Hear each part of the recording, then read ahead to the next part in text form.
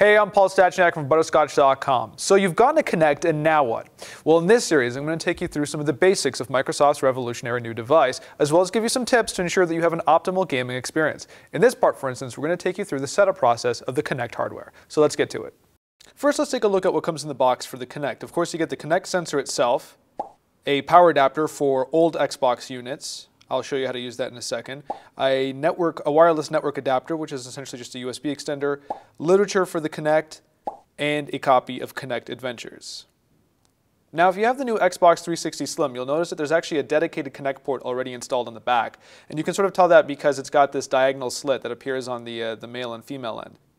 If you have the old white or black Xbox, you're going to need a special power adapter which comes included in the box. And on the one hand is a power supply, in the middle you have a converter for the Kinect sensor, and on the end you have a USB extension cable which plugs into the Xbox. So as you can see, this is the Kinect sensor next to the uh, dongle attachment for the power converter. It's fairly simple, you just line up the ends and snap them together.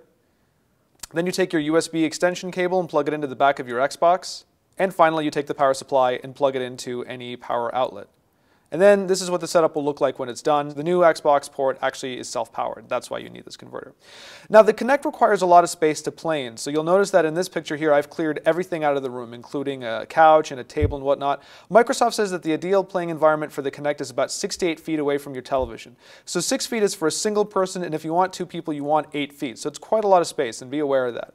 As for where the Kinect should go, you want to place the unit about two to five feet from the floor, uh, centered of course, and on a stable surface. Now you can place the unit itself uh, below your television screen or above. If you're going to place it above, you should get a mounting bracket like the one pictured here uh, because we, they really don't recommend that you tape your Kinect, say, to the top of your uh, LCD TV. So be aware that it should be on a stable surface and or attached to a specific mount.